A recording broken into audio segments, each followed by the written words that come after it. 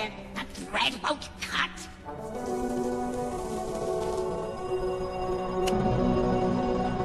This is, this is impossible!